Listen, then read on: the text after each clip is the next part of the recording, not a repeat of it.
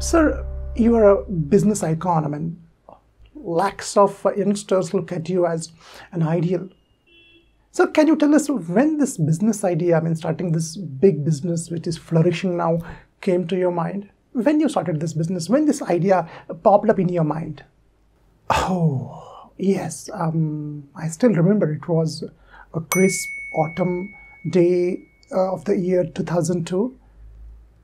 And I was just sitting thinking about my future plans and what to do. And one of my friends had already told that, you know, he is going to go to US and join a company. But I was not sure what to do about myself. I mean, what to do with my career. And suddenly this idea popped in my mind of starting this business, which is very successful today.